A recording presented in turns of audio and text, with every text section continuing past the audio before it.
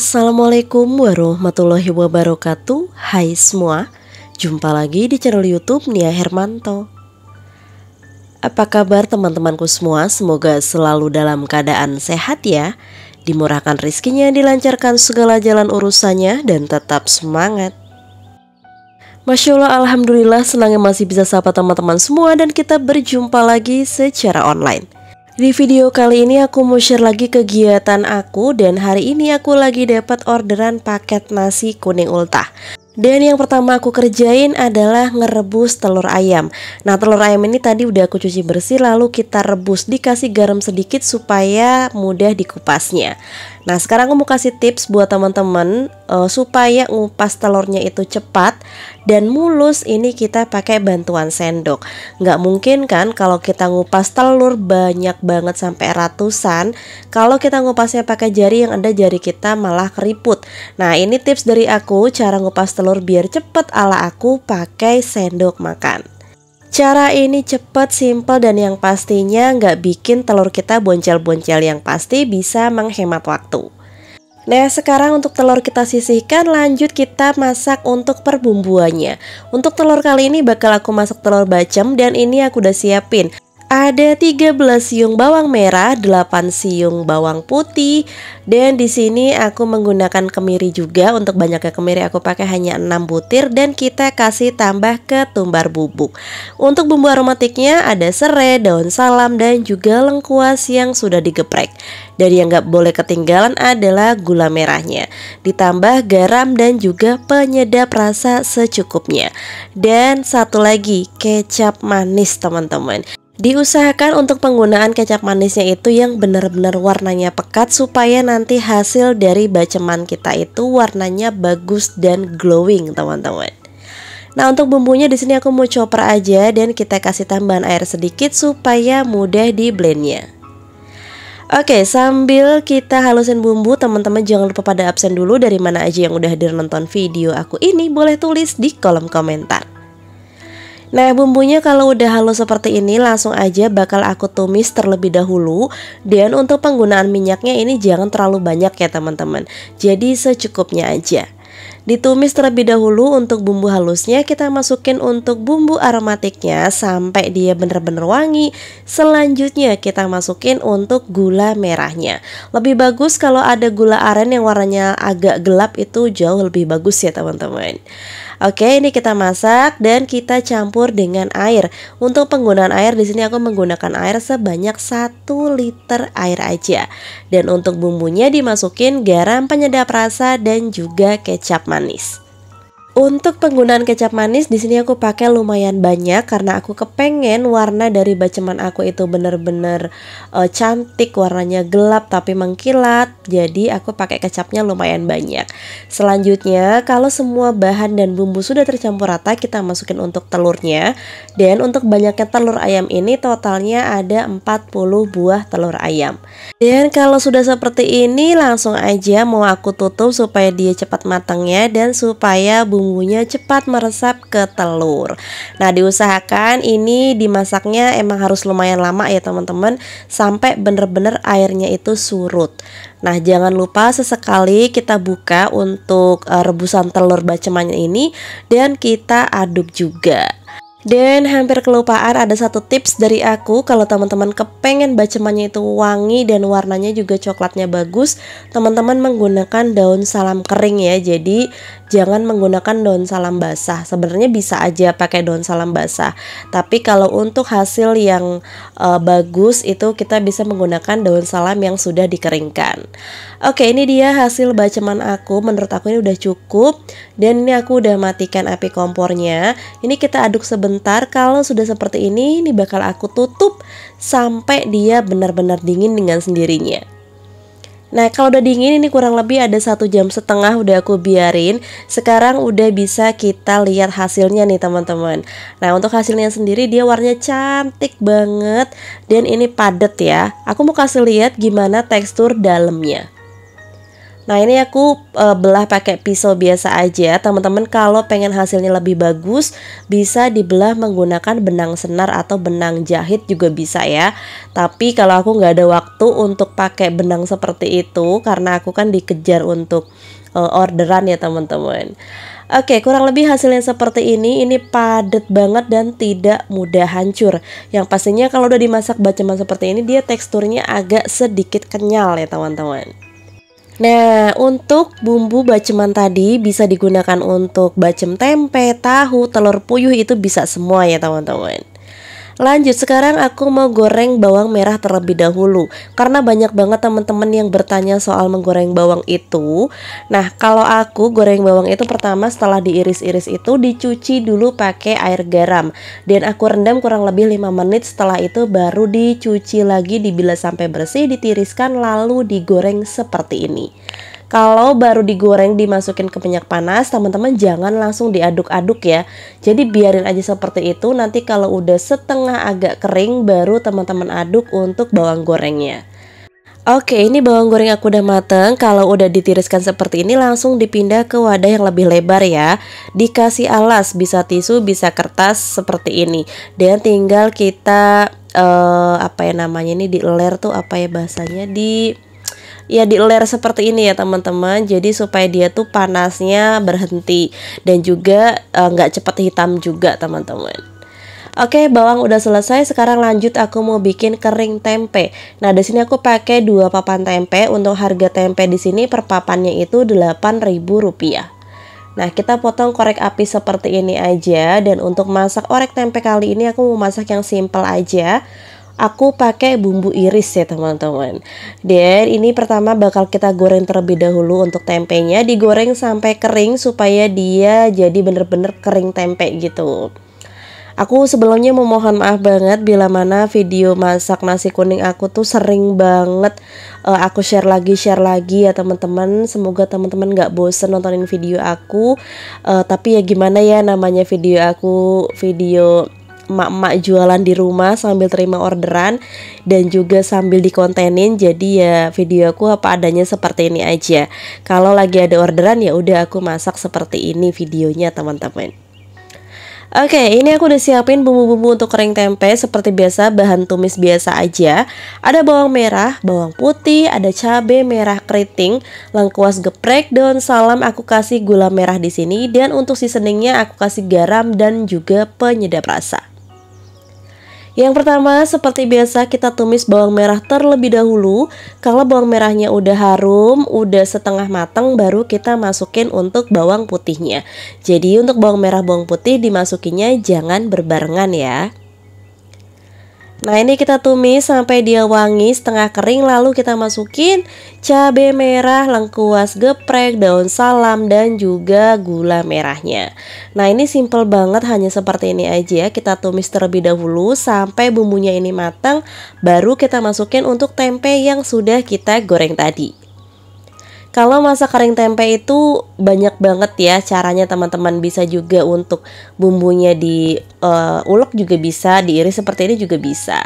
Nah untuk seasoningnya ini aku kasih tambah sedikit lada bubuk ya teman-teman supaya ada rasa pedes-pedesnya sedikit dan juga harum teman-teman. Oke ini kita aduk merata terlebih dahulu ya dan tadi aku sempat kasih uh, kecap manis sedikit aja supaya warnanya itu nggak pucet-pucet banget teman-teman. Dan ini dia kering tempe aku udah matang. Ini simple banget masaknya. Aku yakin semua orang pasti bisa masak. Dan yang pasti ini disukain sama anak-anak.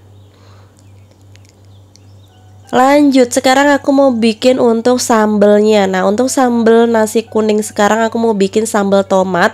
Karena emang cocok banget ya nasi kuning pakai sambal tomat. Jadi untuk per cabai bawangan tomatnya sekarang aku goreng terlebih dahulu Nah ini tadi aku tutup supaya dia nggak meledak-meledak ya dan juga nggak bikin kotor dapur juga ya teman-teman untuk cipratan minyaknya. Kalau udah mateng ini sekarang mari kita tiriskan terlebih dahulu sampai minyaknya itu netes dan juga uh, berkurang suhu panasnya.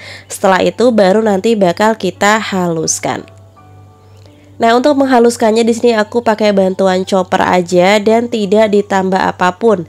Tidak ditambah minyak maupun tidak ditambah air. Jadi seperti ini aja langsung kita chopper. Dan supaya bisa dapat tekstur hampir mirip kayak kita ngulek manual Jadi untuk nyopernya itu sebentar aja dan harus ditekan lepas tekan lepas gitu ya teman-teman. Jadi jangan ditekan terus. Kalau kita tekan terus nanti alhasil hasil dari uh, sambal kita dia terlalu halus banget gitu teman-teman. Pokoknya teksturnya ini masih agak setengah kasar. Nah di sini aku kasih tambah daun jeruk ya supaya dia lebih wangi dan lebih seger aja teman-teman. Seasoning seperti biasa aku kasih garam dan aku kasih gula merah. Dikasih sedikit penyedap rasa di sini aku pakai MSG. Oke ini kita masak sampai dia bener-bener matang Sebenarnya ini udah matang ya Kita tuh masak lagi supaya dia lebih tanak aja teman-teman Nah, kalau dirasa udah berubah warna seperti ini, minyaknya juga udah memisah, berarti tandanya sambal kita sudah matang. Dan pas aku icip, ini kurang asin sedikit, jadi aku kasih tambah garam. Jangan lupa setiap masak kita koreksi rasa terlebih dahulu apalagi ini untuk dijual dimakan orang banyak jadi kita harus benar-benar koreksi rasa masakan kita. Nah ini dia sambal aku udah mateng. Nah ini udah aku pindahin ke dalam mangkok aja supaya nanti dia pas saat kita kemas itu udah dingin ya teman-teman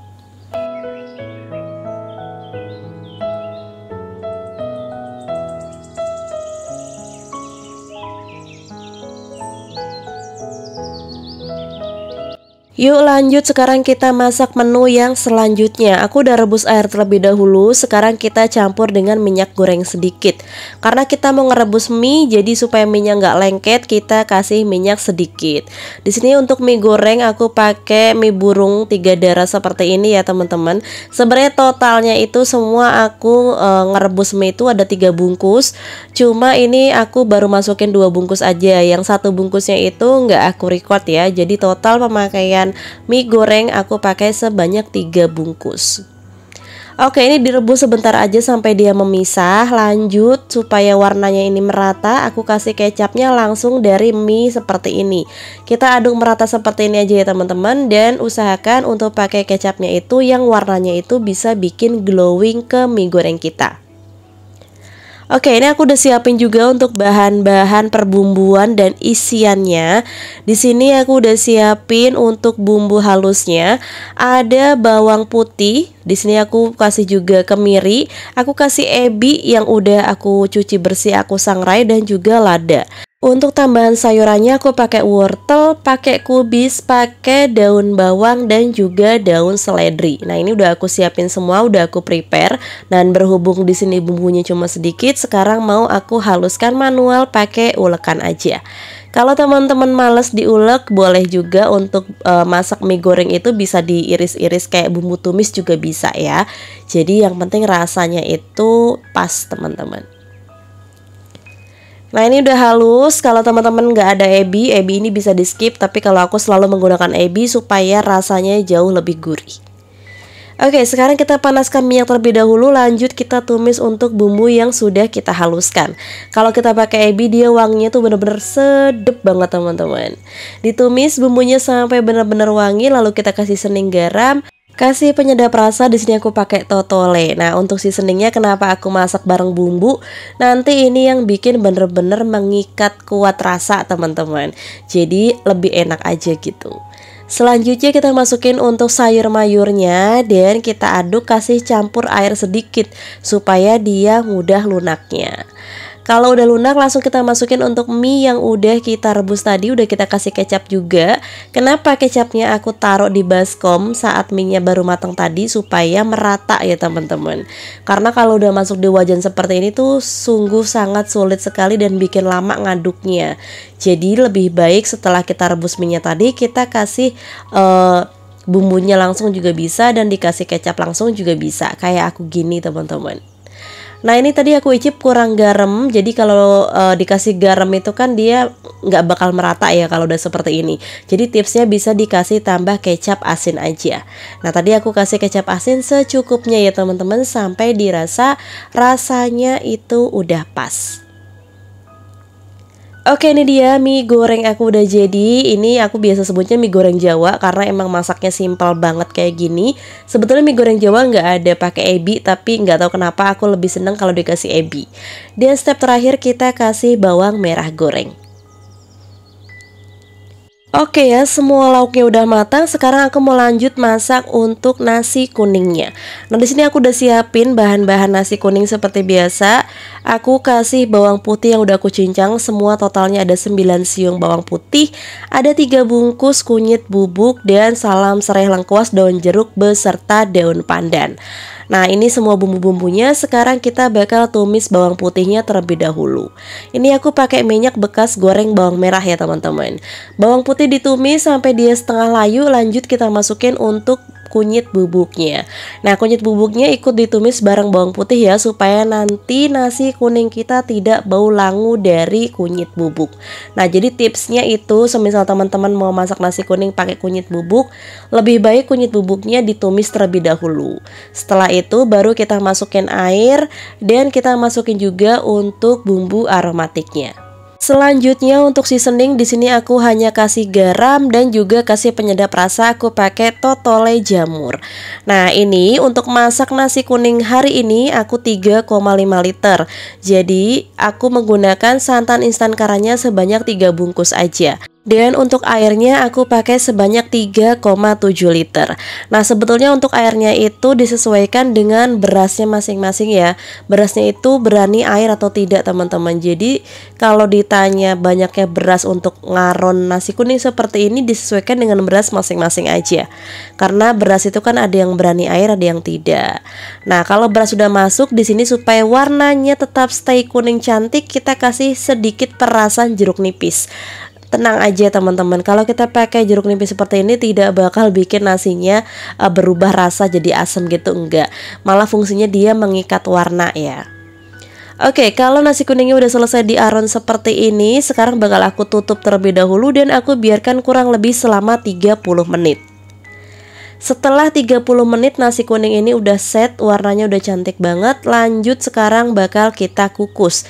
Untuk ngukusnya ini diusahakan langsengnya itu udah dalam kondisi mendidih ya teman-teman. Jadi nanti pas kita ngukus ini tidak butuh waktu yang lama. Nah kalau udah seperti ini udah masuk semua nasi kuningnya seperti biasa Jangan lupa dikasih lubang udara supaya matangnya merata dan nasi kita tidak ngeletis. Kalau sudah seperti ini, ini masaknya nggak butuh waktu lama, hanya 30 menit aja nanti nasi kita udah matang. Nah, oke okay, sambil nunggu nasinya matang di sini aku mau bikin dessert ya teman-teman. Berhubung ini paket nasi harga 20.000 sudah sama agar-agarnya. Jadi di sini aku mau buatin agar-agar puding mangga dulu. Kita kasih dua bungkus Nutrijel, aku kasih gula pasir dan dikasih garam sedikit aja. Plus kita kasih tambah air. Nah, nanti untuk komposisi lengkapnya teman-teman bisa cek di kolom deskripsi aku. Nah ngomong-ngomong soal paketan kali ini emang paketan hemat ya teman-teman Jadi ada nasi, ada lauk dan juga dessertnya Oke, untuk puding mangga kali ini aku kasih sedikit tambahan pewarna oranye supaya dia nanti warnanya cantik teman-teman. Nah, sekarang kita masak seperti biasa, masak agar-agarnya sampai matang sampai mendidih seperti ini supaya tidak mudah mencair. Nah, kalau udah seperti ini kita aduk terus sampai menghilangkan uap panasnya. Mari kita cetak. Di sini aku mau cetaknya di nampan stainless aja. Oke ya, karena hari ini aku mau bikin puding mozaik uh, susu mangga ya teman-teman. Jadi kita bikin dua kali untuk pudingnya. Yang puding mangga kita sisihkan lanjut kita bikin puding susunya. Aku mix ya agar-agar dan juga jelly aku kasih susu bubuk yang merek Z uh, sebagai pengganti susu bubuk yang biasa aku pakai yaitu Denkau. Sekarang aku pakainya susu Z seperti ini teman-teman. Dikasih gula pasir dan juga garam sedikit plus kita langsung kasih air untuk melarutkan semua bahan keringnya Oke ya, ngomong-ngomong soal susu bubuk, aku belum nemu sih sebenarnya susu bubuk yang cocok buat aku uh, selain pengganti Denko itu apa. Tapi untuk saat ini berhubung di toko bahan kuenya banyak yang menjual susu Z ini, jadi aku mencoba pakai susu Z ini teman-teman. Oke, agar-agar kita masak sampai dia mendidih. Nah, ini kalau hampir mau mendidih, baru kita masukin untuk susu kental manis. Untuk susu kental manisnya di sini aku pakai omela yang satu kaleng kecil ya, teman-teman. Jadi, kenapa susunya aku masak di paling belakang susu kental manisnya ini? Karena supaya tidak mudah gosong. Susu itu kalau dimasak itu kan dia mudah banget gosongnya ya, teman-teman. Supaya tidak ada bau gosong-gosong, jadi bisa kita masak di akhir seperti ini. Nah ini sampai mendidih juga untuk pudingnya dan kalau udah mendidih seperti ini buru-buru kompornya dimatiin lanjut diaduk terus sampai uap panasnya hilang dan sampai wangi susunya itu keluar. Nah ini udah matang lanjut kita balik ke agar-agar mangga ini ya jeli mangga ini. Kita potong-potong dadu seperti biasa aja. Untuk potongnya jangan terlalu besar karena nanti bakal kita campur dengan puding susunya Oke ya, ngomong-ngomong soal susu, siapa tahu di sini teman-teman punya rekomendasi susu bubuk yang enak. Boleh banget ya ditulis di kolom komentar siapa tahu nanti susunya itu cocok di aku. Jadi aku bisa nyobain nih. Boleh banget teman-teman kasih rekomendasi ke aku. Oke ini udah selesai ya kita potong-potong untuk uh, agar jelinya. Lanjut kita balik lagi ke puding susunya. Nah seharusnya puding susu ini kita terus aduk ya teman-teman Sampai uap panasnya hilang dan sampai dingin. Jadi dia tidak uh, membentuk agar-agar gitu ya. Tapi berhubung tadi aku nyambi yang lainnya Ini puding kelupaan jadi dia agak sudah mengental sedikit ya. Tadi hampir udah mau mengental teman-teman. Jadi aku aduk ulang terus sampai dia mencair seperti ini. Tapi ya memang nggak bisa bener-bener cair ya karena dia kan udah mulai padat. Jadi tips dari aku teman-teman kalau mau bikin puding mozaik seperti ini saat kita mendinginkan puding susunya itu sambil terus diaduk supaya tidak padat jadi jelly seperti ini Oke, untuk pengemasan di sini aku pakai cup yang ukuran 65 ml. Jadi nanti untuk hasilnya tuh seperti ini teman-teman. Tapi tenang aja, walaupun ini kelihatannya konyor-konyor, dia itu tetap padat nantinya. Finally, alhamdulillah ini dia udah siap semua untuk isian nasi kuning di hari ini.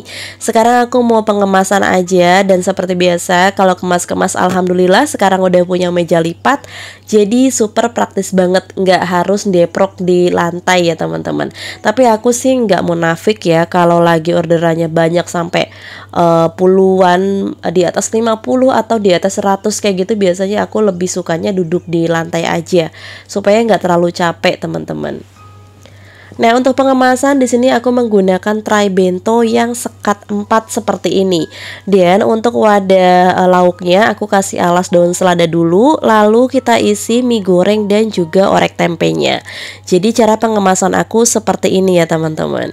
Dilanjut nanti untuk kotak yang bagian atasnya aku isi untuk telur bacem Nah, untuk lauk utama di nasi kuning ini kita menggunakan telur bacem ya teman-teman. Untuk harga telur di aku sekarang udah 28.000 per kilonya teman-teman. Udah mulai naik lagi. Ya nggak kaget sih ya karena udah mau Nataru jadi harga-harga ya mulai naik teman-teman. Nah untuk sambel di sini aku kasih satu sendok teh aja karena ini buat anak-anak di panti asuhan ya. Jadi mereka pasti nggak pada dimakan sih sebenarnya untuk sambel ini kecuali anak-anak yang udah lumayan dewasa mungkin ya. Jadi aku kasihnya secukupnya aja. Nah lauknya udah masuk semua Sekarang saatnya kita untuk cetak nasi kuningnya Sejujurnya ini nasi kuning baru banget matang Dan masih panas banget teman-teman Langsung aku cetak seperti ini jadi pas nyetaknya itu bener-bener mudah banget tapi resikonya yaitu tangan panas ya. Nah untuk cetakan nasinya seperti biasa aku pakai cetakan mawar yang ukurannya 7,5 cm. Di atas mawar ini aku kasih uh, bawang merah goreng dan di atas nasinya aku kasih untuk puding teman-teman. Jadi ya rapih aja kelihatannya gitu ya. Tapi biasanya sebelum aku menata seperti ini, aku coba satu dulu teman-teman kira-kira cocoknya seperti apa kayak gitu. Nah di samping nasi dan puding nih aku kasih sendok makan dan juga sendok puding. Nah ada juga kerupuk tapi kerupuknya mohon maaf gak kerikot karena emang ini buru-buru banget ya aku ngerjainnya teman-teman. Alhamdulillah udah selesai semua. Total pesanan di hari ini ada 35 porsi. Dan pesanan kali ini datang dari teman online kita Yang anaknya lagi ulang tahun. Dan aku dapat amanah uh, untuk buat nasi kuning ini dan disalurkan ke Yayasan Yatim Piatu Pabu yang biasa aku donasikan makanan. Untuk masak kali ini aku masak sendiri ya teman-teman. Tapi untuk nganternya aku dibantuin sama suami aku. Oke ini udah selesai semua. Aku bungkus pakai plastik seperti ini. Kebetulan plastik aku udah habis yang gede. Jadi aku pakai plastik kecil gini. Dan ini aku udah sampai di yayasan. Alhamdulillah ya teman-teman. Ini posisinya hujan deras banget dan pas sampai sini sejujurnya aku senang banget karena alhamdulillah ada salah satu pabrik yaitu pabrik Yamaha yang berdonasi untuk renovasi tempat yayasan ini dan juga supaya anak-anak itu ibadahnya, ngajinya juga nyaman. Oke, ini aku udah selesai juga videonya. Terima kasih banyak buat teman-teman yang udah nontonin video aku dari awal sampai akhir. Semoga video aku bermanfaat, menginspirasi dan menghibur. Aku akhiri dulu videoku kali ini dan kita sambung di video yang selanjutnya. Wassalamualaikum warahmatullahi wabarakatuh. See you.